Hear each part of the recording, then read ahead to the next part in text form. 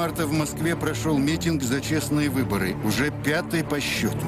Изначально планировалось собрать 50 тысяч человек. Однако, даже по словам самих организаторов мероприятия, народу пришло в два раза меньше. На Новом Арбате не менее 25 тысяч человек. По оценкам ГУВД на Новом Арбате не было и 10 тысяч. Некоторые ораторы от выступления отказались, а люди стали расходиться по домам, не дожидаясь финала. В итоге митинг закончился на час раньше запланированного. Впрочем, это не помешало его организаторам заявить, что в следующий раз они непременно соберут миллион. Миллион! Миллион! Что такое массовка и зачем она нужна? Любой митинг организован по э, законам шоу-бизнеса. Впервые откровение маклеров о том, как собирали людей на Болотную площадь. Больше, чем три тысячи. И как свозили массовку на Белое кольцо. У кого-то есть претензии? Кто возмущается, сейчас пойдет домой. Протест по зову сердца за деньги и за печеньки. Сколько стоят бомжи с плакатами? Студенты и представители креативного класса рассерженных горожан. Давайте, давайте. Вот, вот он, вот. Кто в действительности проплатил появление на митинге в Лужниках этих студентов из Кении? Нанимали э, массовку, а потом демонстративно с ней расплачивались, снимали это все на камеру. Кто размещал в интернете видео с митингующими гастарбайтерами из Узбекистана? Документальные свидетельства из первых рук. Это самая обыкновенная провокация, самый вот причем такого примитивного уровня. Как оппозиция готовит свои провокации? Я только для того, чтобы меня свинтили. Что такое сакральная жертва? Уже из Чечни приехали сюда снайперы. Кому она выгодна? Выгодно, это только оппозиции. И что делают на митингах люди из посольства США? Стоп, стоп, стоп, стоп! Камеру! Мы не бьем камеру! За что охрана Навального бьет журналистов? И откуда у него столько телохранителей? Почему организаторы митингов вынуждают полицию к применению силы? И зачем они перешли к тактике провокаций? Мнение экспертов, откровения участников событий и уникальное видео, которого не найти в интернете. Сегодня в нашей программе.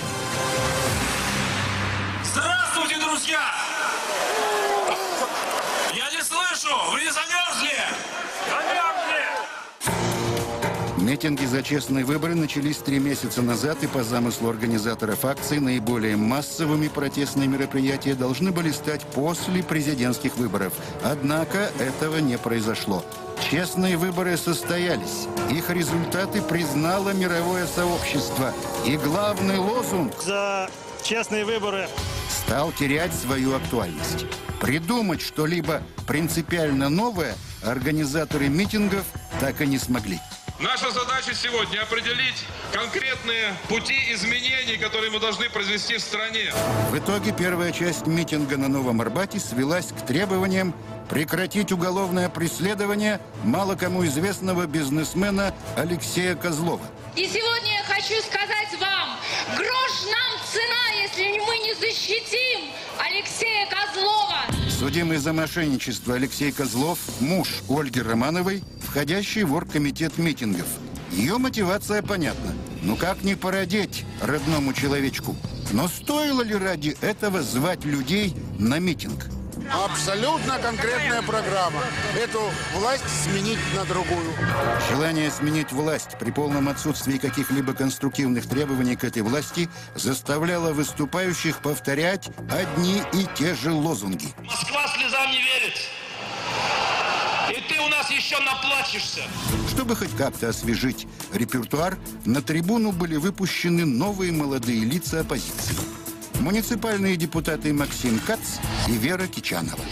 Да, я хочу оранжевой революции. Вера, молодец. И тем не менее, оранжевой революции не произошло. Спровоцировать ее не смог даже забравшийся на будку Сергей Удальцов. Народ можно собрать под какое-то событие или под какие-то позитивные тезисы, а, под какие-то идеи, которые движут людей куда-то дальше, да, обрисовывают перспективы, дают эти перспективы.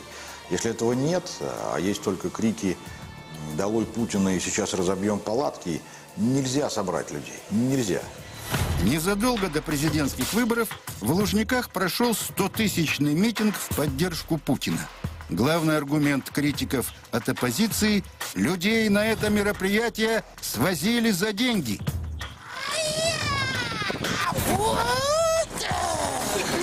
В интернете появились вот эти ролики с кенийцами и гастарбайтерами.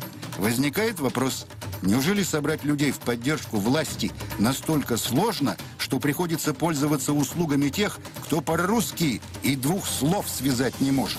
А вы не подскажете, каких вы политических убеждений? А, ничего. А? А зачем вы спрашиваете? Ну, я живу в свободной стране. Вот. Ничего. Вот А, у- не. А у вас? Ничего.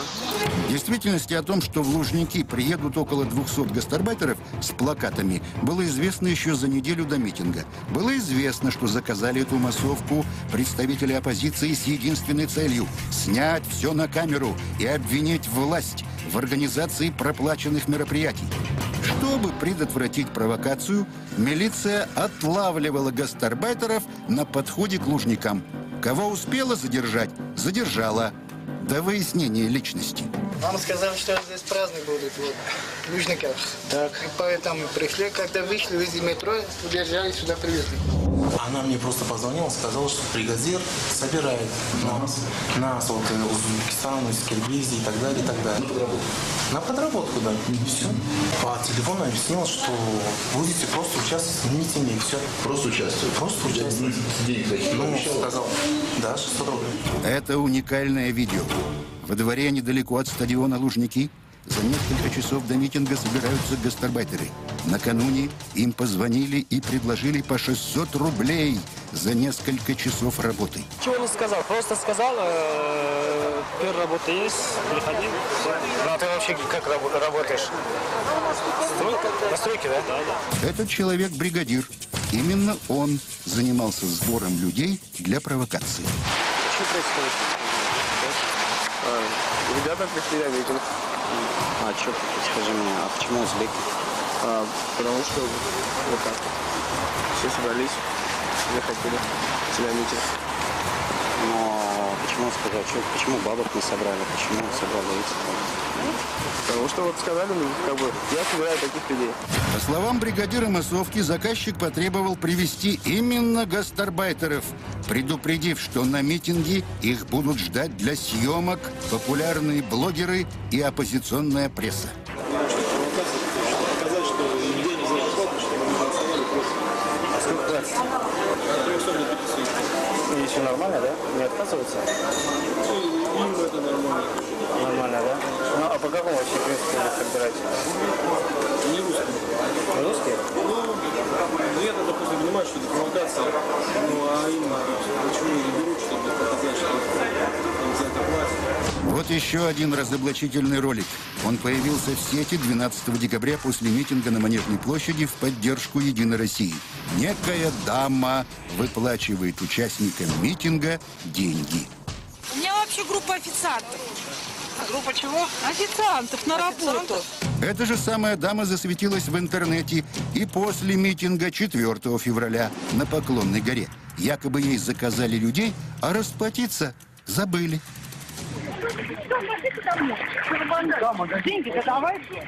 Как же на самом деле появился этот компромат и кто за этим стоит? Нам удалось найти героиню этих роликов. Роза Еникеева зарабатывает на жизнь, собирая массовки для съемок в кино и на телевидении. По словам Розы, в разгар предвыборной кампании ей позвонил некий Ренат. Сказал, что ему нужна массовка и пообещал 2000 рублей за человека. А мы договорились раньше встретиться, чтобы деньги заранее дать. Он сказал, что деньги подвезут. Так и не подвезли. Так и остались. А люди без ничего. И до сих пор мне все люди звонят. Роза собрала людей, однако вместо заказчика с деньгами появился корреспондент, который стал ее снимать. Потом в интернете появился ролик, авторы которого пытались убедить зрителей в том, что действующая власть мало того, что сгоняет людей на митинги за деньги, так еще и не платит. Подобные ролики для оппозиции – прекрасный повод покритиковать власть. Выглядят убедительно, если не знать, кто за этим стоит. Эти люди не гнушаются ничем. У них блицкрик, они готовы играть блицкрик, и во время блицкрика готовы совершить любые действия. Так, например, а, во время митингов, э, которые проходили за Путина, эти люди специально нанимали а, массовку, а потом демонстративно с ней расплачивались, снимали это все на камеру и выдавали это, как будто проплаченная массовка участвовала в митингах за Путина. В Москве работает около 10 крупных маклеров, способных собрать большую массовку в кратчайшие сроки. Под видом клиентов мы пригласили их на встречу и попросили рассказать о своих возможностях. Сейчас дадите заказ, ну, поверьте. Много. Для площадь. Ну, это больше, чем 100, да? Конечно, конечно, больше, чем 3000. Первопроходцем в использовании политической массовки 8 лет назад стала партия Владимира Жириновского. Что вас привело сегодня? Поддержку За кого? будущему президенту. Владимир Вольфович. Что еще хотите сказать? Наш президент Жириновский. Не холодно стоять тут? Да нормально. В прошлый раз попрохладнее было. Бомжи получают около 300 рублей. Дороже всего сейчас стоят студенты и те, кто похож на креативный класс рассерженных горожан. Поскольку реально вы получите за то, что вы Да ладно, каждый? Каждый. В ходе беседы маклеры делают сенсационное заявление. Оказывается, политическая массовка была и на митингах за честные выборы. Заказали ее всего за несколько часов до начала шествия по Якиманке, видимо, в целях конспирации. Срочность заказа оплачивалась дополнительно. Когда я был, допустим, на Болотной, там реально не так много было алкоголиков, какие были сегодня. Хватает цена. А ты вот спросил человека, который на Болотной был. Там по-другому просто отбор был, там по-другому все. На вопрос, знаете, болеет на вопрос, который... Условия, которые нам ставят. На каждом участнике политической массовки маклер зарабатывает в среднем тысячу рублей. 100 человек – 100 тысяч. Если я все-таки спрашиваю, кто заказчик? Истинного заказчика все равно вы не узнаете, потому что, опять же, это идет Посредники. через кого-то. 26 февраля в Москве прошла акция оппозиции «Большой белый круг». Согласно подсчетам, чтобы замкнуть Садовое кольцо, нужно было не менее 34 тысяч человек. Это уникальные кадры. Бригадиры на выходе из метро «Сокольники» собирают массовку для Белого кольца. Несколько сотен платных борцов за честные выборы и демократию построены в очередь и рассортированы по возрасту. Средний возраст 40-50 лет. Процентов 30 это молодежь по 25, по 22 года. Каждому участнику ставят на руку специальную метку. Я фломастером напишу. Как в советское время. Всем выдают белые ленты и талончик на получение гонорара. Я сказала, у кого не будет маркера, все, пойдете домой. Ну что делаете?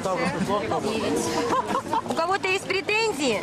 Кто возмущается, сейчас пойдет домой. Часть денег, тысяча рублей, выплачивалась до начала акции. Давайте с той стороны, не давите, пожалуйста.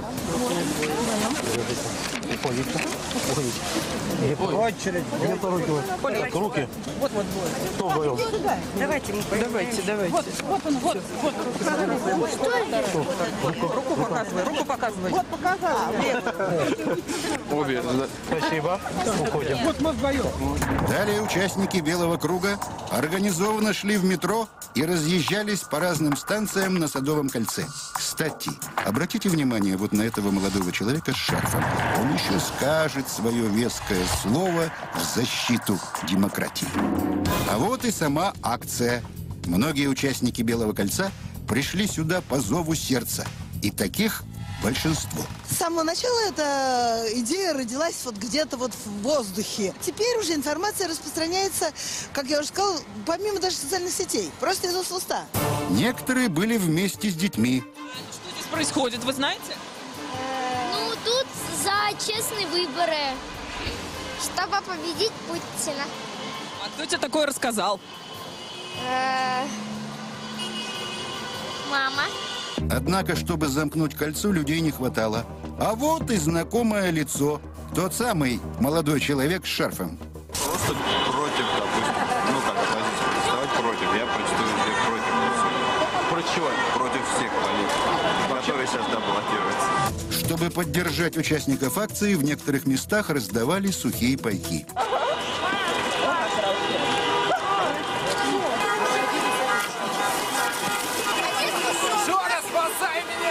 На чьи деньги этот банкет?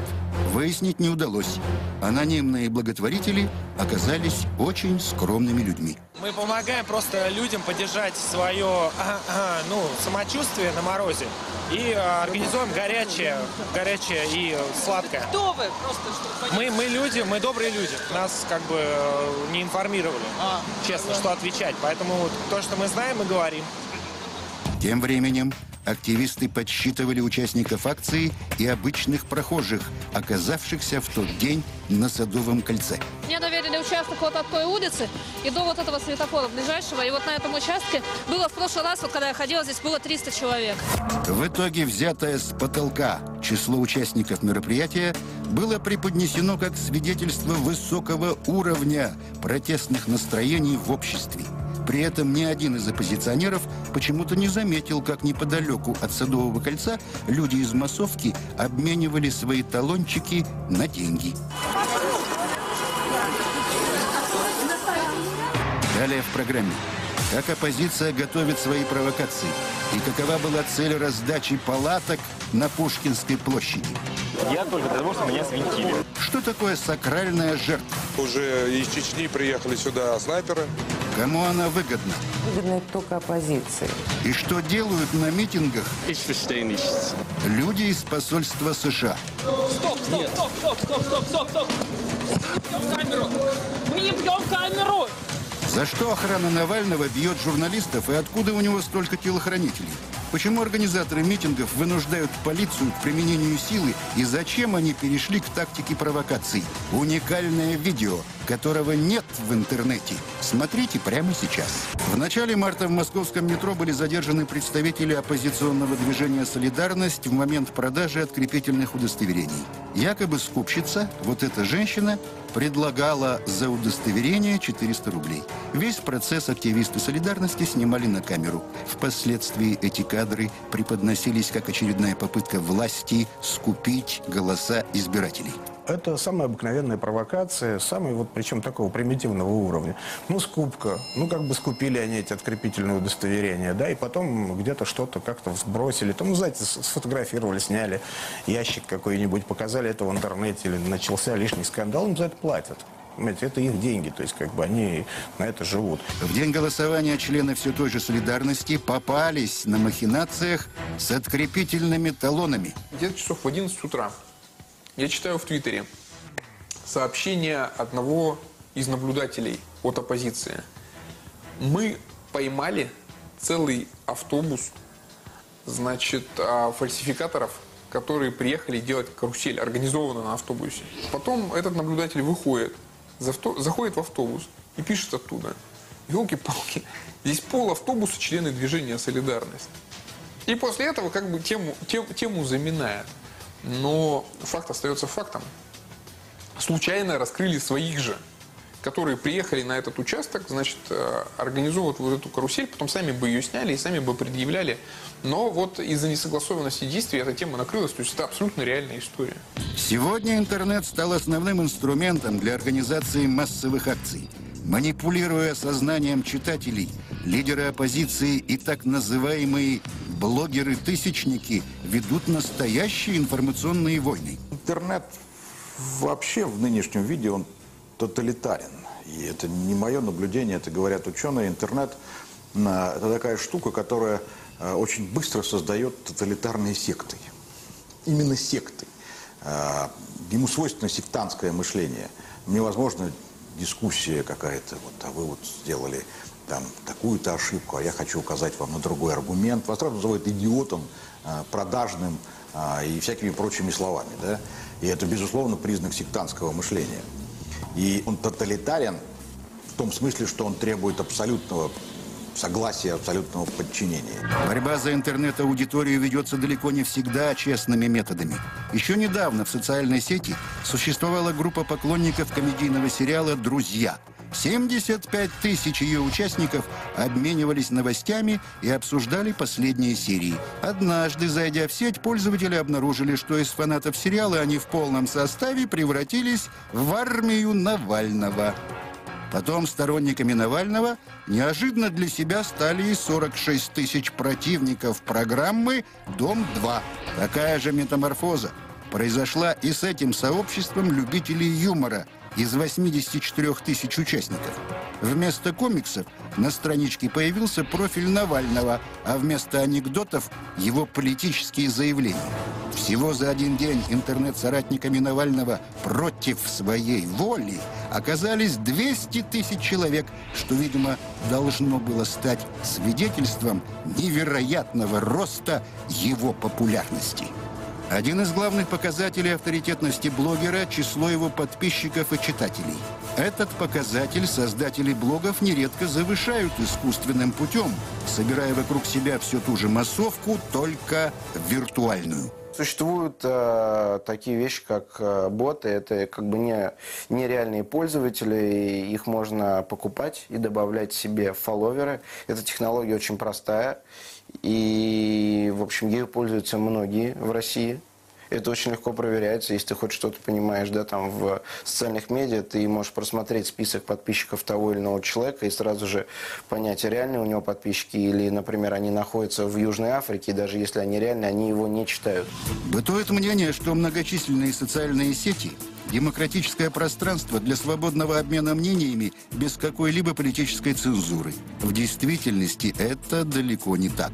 Например, в Ютубе недавно был заблокирован вот этот ролик в поддержку Путина. Нечто подобное произошло и на Фейсбуке. Я знаю, что на Фейсбуке была, например, заблочена без реальных объяснений группа «Путин-2012» которая как раз там создавалась какими-то ребятами в поддержку Путина к выборам без каких-либо вменяемых объяснений причин. Естественно, что если вы начнете писать в оппозиционной группе какие-то посты в поддержку Путина, они будут оттуда удаляться. При этом материалы с критикой российской власти в сетях широко рекламируются, даже если их достоверность вызывает большие сомнения. Так, например, Алексей Навальный опубликовал видеоролики, на которых якобы видно, как происходит массовый вброс бюллетеней в урну для голосования. На самом деле Навальный своих подписчиков попросту обманул. На секундочку, да, это тот человек, а, который э, организовывал наблюдателей на участке. Так вот, оказалось, что он выложил ролики, которые, собственно, до выборов, да, до, до начала голосования КАИБы тестируются и проверяются на работоспособность. А, и он выложил эти ролики и заявил о том, что вот смотрите, как они нагло вбрасывают. То есть человек просто не знает закон и не знает процедуру выборов. И при этом что-то говорит про фальсификации, и при этом направляет наблюдателей на участки. Это просто комедийная ситуация. После того, как я, соответственно, написал о том, что вот посмотрите, кто эти люди, вот Навальный, естественно, стыдливо сразу же удалил свой пост и даже не принес никаких извинений. Примечательная деталь. О том, что результаты выборов президента России будут сфальсифицированы, лидеры оппозиции заявили задолго до самих выборов. Люди понимали, что а, шансов остановить Путина у них нет. Поэтому, собственно, приговор был вынесен еще до, до самого события. А, и другого ничего быть не могло. Мы все равно знаем, что победу украли. Кто украл, у кого украл, почему, как, это уже не важно. Следующим шагом оппозиции должна была стать серия провокаций и столкновений с полицией. За пять дней до выборов активисты широко анонсировали акцию по раздаче палаток на Пушкинской площади. Это буквально калька со сценария Киевского Майдана 2004 года. То есть они хотели собрать типа в центре кучу народа, которые там, ну, палатки им раздадут, они будут там сидеть месяц, наверное, и пока там типа Путин не, не уйдет. Это смешно, правда. Однако эта акция сорвалась. Ее организатор Вадим Коровин появился на площади и заявил, что палаток не будет.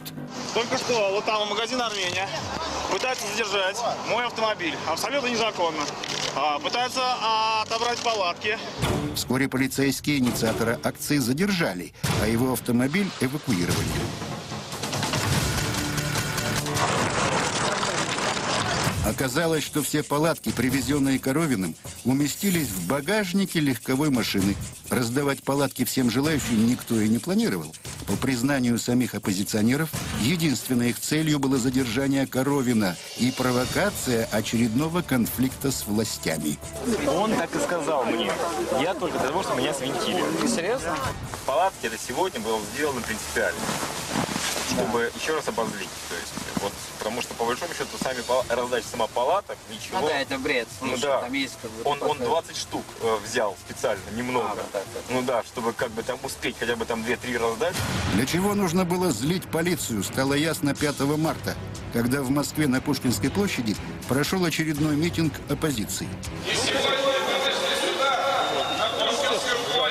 По оперативной информации, после митинга часть радикалов планировала дойти до Лубянки, объединиться с гвардией Эдуарда Лимонова и попытаться прорваться в здание ЦИК. Это секрет Полишинеля был. Все это понимали. А группа, которая должна была присоединиться к ним на Лубянке, она изначально была сразу заряжена на то, что вот они участвуют конкретно в прорыве, и конкретно там должна была быть история там, с попыткой захвата этого пятачка и там а, попыткой там обосноваться и поставить палатки. Но этот план сорвался. Лимонов и его сторонники были задержаны, Лубянскую площадь перекрыли. Впрочем, некоторые лидеры оппозиции все же нашли повод для конфликта с полицией. После официального окончания митинга Сергей Удальцов забрался в фонтан и заявил, что с площади не уйдет. Вслед за Удальцовым фонтан оккупировали Навальный и депутат Пономарев. Митинга здесь нет, транспарантов здесь нету.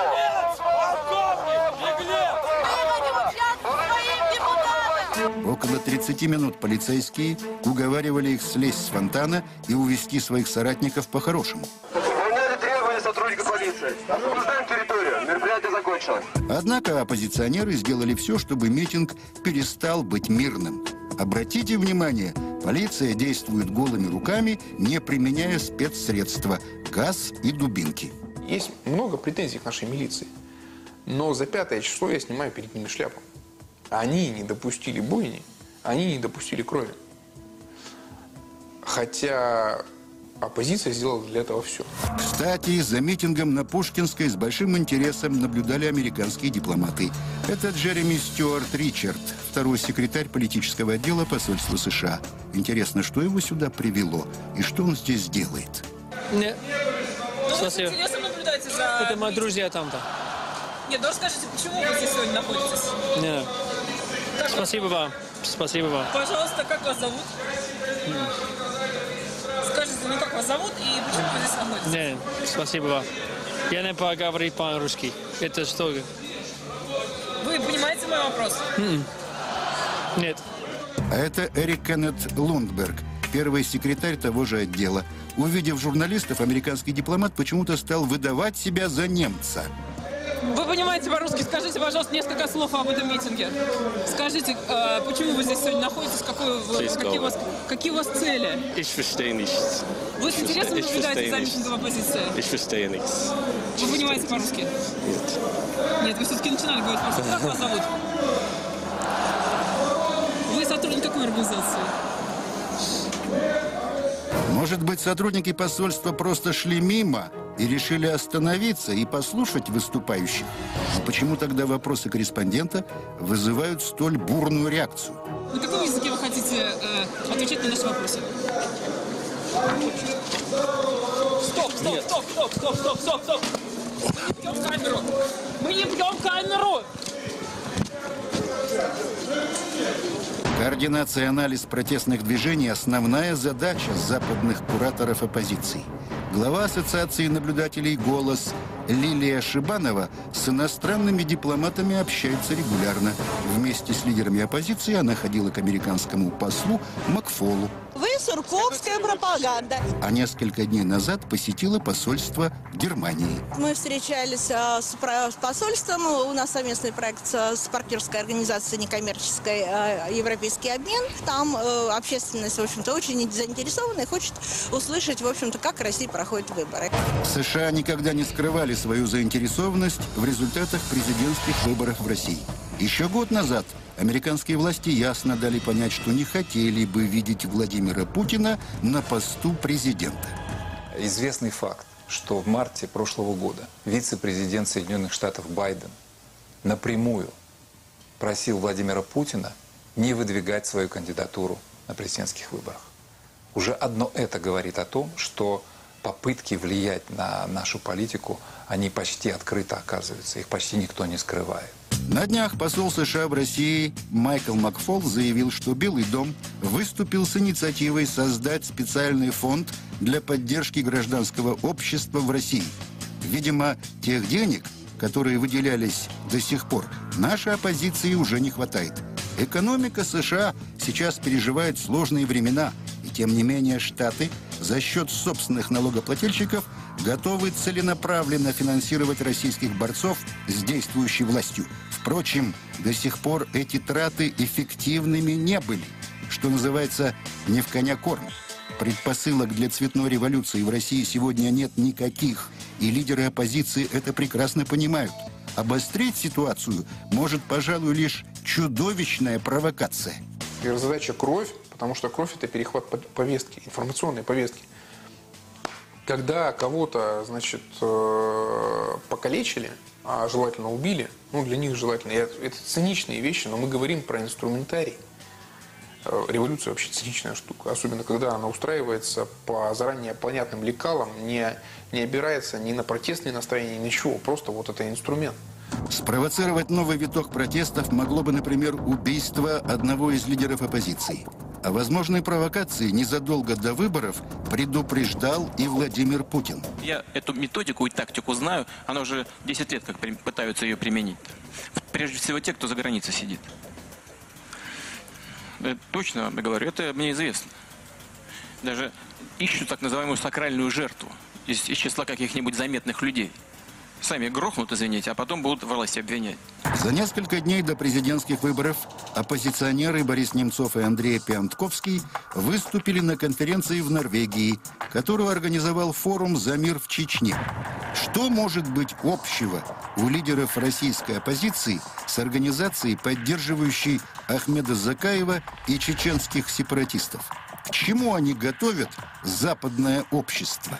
Путин не полагается, не доверяет российской полиции, российскому спецназу. Ему нужна помощь Кадырова, чтобы разобраться с оппозицией. Они в Москве уже месяц. Они не носят форму, располагаются в частных квартирах и готовятся к чему-то.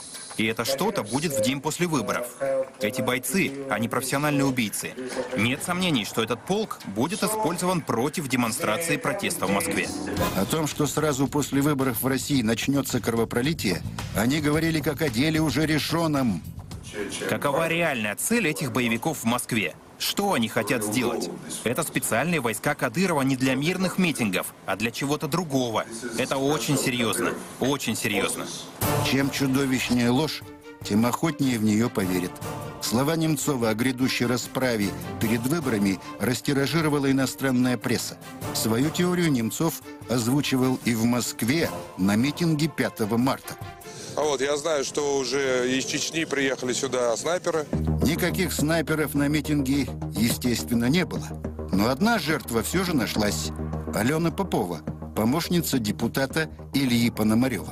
Сломали руку, сдернули меня с фонтана лицом вниз, побили и сломали руку. Еду в травмпункт. На сакральную жертву такая травма, конечно же, не потянет, но как повод обвинить полицию в рукоприкладстве вполне сойдет. Когда вот эту даже подхватили фразу о том, что оппозиции нужна сакральная жертва, и начали обвинять чуть ли не в том, что государство, полиция готовит какое-то убийство, боже, ну кто, опять же, кто заинтересован? Куи боны, кто, кому это выгодно? Выгодно это только оппозиции. Митинг 10 марта на Новом Арбате обошелся без жертв.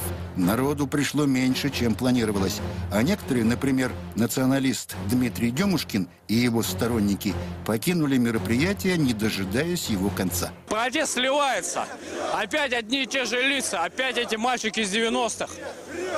На ваш взгляд, это последний митинг? А, на, нас, на наш взгляд, обычные русские люди считают, что пусть лучше будет Путин, чем вот эти, кто сейчас на сцене. Зрители и журналисты ждали выступления блогера Навального. Однако тот на сцену так и не вышел. Алексей, Вообще никаких комментариев. Я не понимаю. Ну вы не объяснили, почему. Почему я обязана вам объяснять? От неудобных вопросов простой парень из Марьина, как Навальный сам себя называет, скрылся в фешенебельной гостинице. Разговаривать с нами он отправил одного из своих многочисленных телохранителей. А почему, почему частная жизнь? Мы с Алексеем. С этого момента начинается его жизнь. С чувством выполненного долга борцы за демократию разъезжались по домам. Ксения, буквально один вопрос о протестном движении. быть худенькой. Один вопрос, Ксения.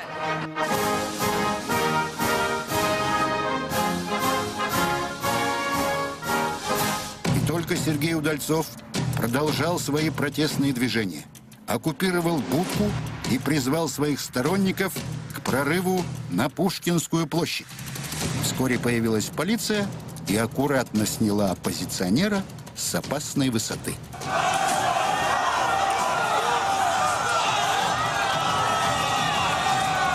Следующий митинг запланирован на май. За те три месяца, что прошли после первой акции протеста, у лидеров оппозиции были все шансы объединиться и сформулировать конструктивные требования к властям. Именно так действует любая политическая сила, если ей действительно есть что предложить своему народу, если она действительно хочет что-то изменить в своей стране. Однако этого не произошло.